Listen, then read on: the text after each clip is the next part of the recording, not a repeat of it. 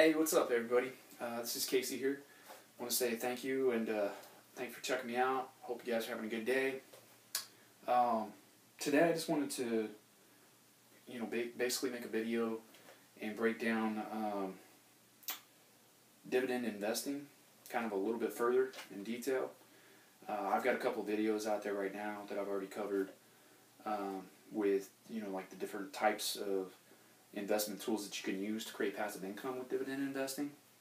Uh, but I want to break down a little bit further with uh, you know things such as learn how to read financial statements, uh, income statements is another word for that, balance sheets, um, you know, kind of understanding what you're looking at when it comes to a stock and knowing if it's undervalued or overvalued, because that's pretty important when you're when you're investing for you know the long haul. Um, especially if you're looking for passive income, you want to, you know, you want to make investments in solid, sound companies. And the only way to do that really is to understand um, financials, okay, financial information and data that comes out on a quarterly basis with these companies. All right. Now it does require a little bit of work uh, on your behalf as an investor, but you know if you're looking for uh, good returns as an investor, that's that's part of the game. All right. Now this book that I read here, it's uh, by, it's it's by Don Schreiber Jr. and Gary E. Stroik, and it's called All About Dividend Investing. See it right there. Uh, basically, they cover tried and true ways to take emotion out of the investment equation, uh, strategies for increasing your retirement income, and how to predict returns and guard against inflation in any market. Okay, now these are all good things that you want to learn when you're, you know, laying your money on the table and investing with the company because there's one thing we all know: stock markets are very, you know, they're they're very volatile. Okay, they go up and down in price all the time. All right, so you want to be able to guard against, you know, some of your investments going down in price and losing money. All right. Uh, I'm not going to cover everything that's in the book today. That would take way too long. It would bore the crap out of you probably. Um, so I'm just going to keep it simple. And today we're going to cover the income statement um, because that is part of the basics of, you know, learning what it is you're looking at when you're you're getting ready to invest with a company. Okay.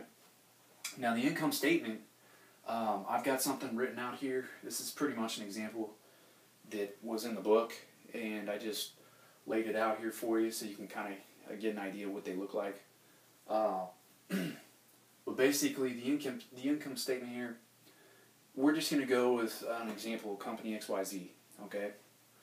Uh, and the reason why we're we're just going with this and not an actual company is because the the data from say like a you know Walmart or somebody like that, the data that I'll be putting up here is going to be um, it's going to be obsolete. Uh, just basically, basically because we'd be going off of numbers uh, that are you know from the past, and I want to stay away from that. Okay, so this this example here, let's just say, is for company X Y Z, and it is present uh, present day figures that we're looking at. So, on your income statement, guys, you're going to have something that looks like this. You're going to have sales um, cost of goods sold, you know, if they're like in retail or something like that.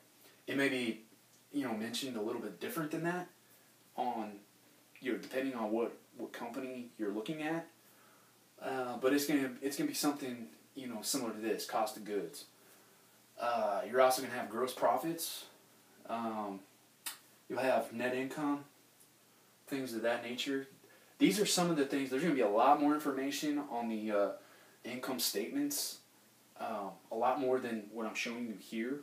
These are just the things that you want to pay attention to. The rest of it, um, you you know, you can kind of you can use uh, for different formulas and stuff like that, and get really advanced with looking for certain things uh, to determine you know if if your stock's going to be you know better in value than say another stock.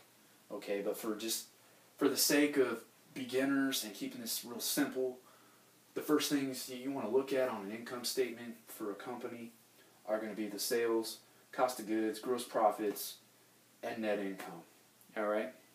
And out of these uh, four that I just mentioned here, you're basically going to want to, you're going to want to compare. So your sales here, you're going to compare a couple things.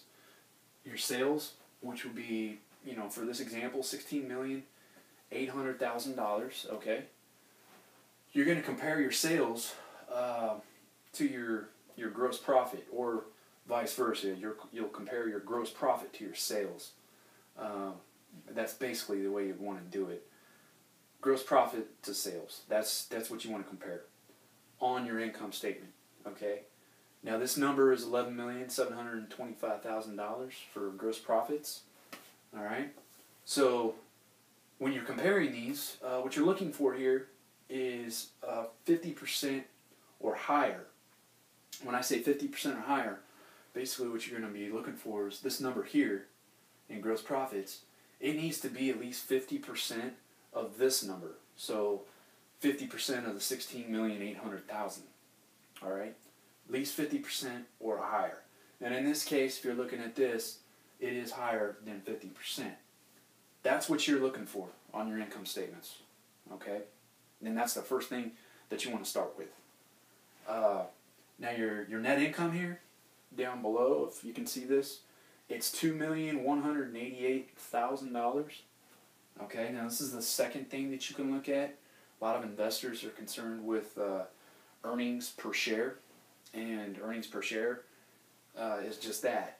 So, how you would figure that that number for earnings per share is just taking uh, your net income and you're going to divide it by the number of shares outstanding. Okay, that's simply that. Those are basic things that you need to do when you're looking at your income statement. Now, like I said, there's other information you can pull from the income statement and run in different formulas. We're not going to go into those today because I mean it's it, a lot. It can get very complex. It can confuse and you know people who are just beginning. So we're going to stay away from that. I'm just going to cover the basics here for simply looking at an income statement and knowing you know what numbers you need to look at. Okay, so that that's exactly what you would want to look at. Uh, and again, this is based off the book that I read. Okay, it's a great book. Um, if you haven't read it, check it out. You can go on Amazon or um, you know get it online or at a bookstore. But I would highly recommend you know at least taking a look at it, especially if you're looking to uh, you know start generating some passive income through dividends. Okay, and that's again when you're buying into a company, they're going to pay you a paycheck uh, simply for owning shares of their company. Okay, um, it's a great way to kind of secure your nest egg, or you know when you're in retirement, uh, you know, and just kind of use it as a, an extra tool to to add on to you know the money that you might be withdrawing from, say like an annuity.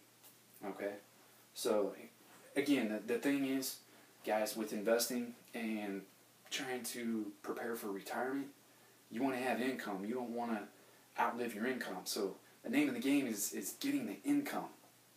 And one of the most powerful things you can use is the power of compounding through dividends to do that. All right. Now, I'm, I'm not going to try to get too much off course here with the income statements, but um, the reason why you might want to look into dividend investing um, is because, again, of the income, but on top of that, learning how to read the income statements is going to uh, help you better understand again you know if your company is undervalued or if it's overvalued because the last thing you want to do really when you're when you're investing um, is buying in high okay and then watching your your stock price drop and you panic and you get you know completely flustered and, you, and then you sell well the problem with that is you're selling at the low, so you're losing money. You want to stay in, okay? Um, and we'll get into some of that later with like some more videos I'm gonna probably put out there on risk management and just con- you know controlling your emotions and stuff like that. Uh, because it's very important that you know what you're looking at when you're when you're investing in a, a company. Okay, And so I'm gonna I'm gonna release some other videos here um, on balance sheets. Uh, there's stuff in here such as oh where was it? Um, statement of retained earnings. We'll cover stuff like that. Uh, we'll go into valuation ratios, uh, debt coverage ratio, quick ratios, and I'll break it down in individual videos for you how to uh, calculate out those, you know, those ratios that I was just talking about so you kind of get an idea of how they all work. And when you tie them all together, you can really break it down and basically screen your stocks that you're looking at uh, so that you're making better investments. Okay? Uh, anyways, I'm done for today. It's simple. I'm going to just keep this short. And uh, I'll be releasing some more videos here soon, guys. Alright, take care.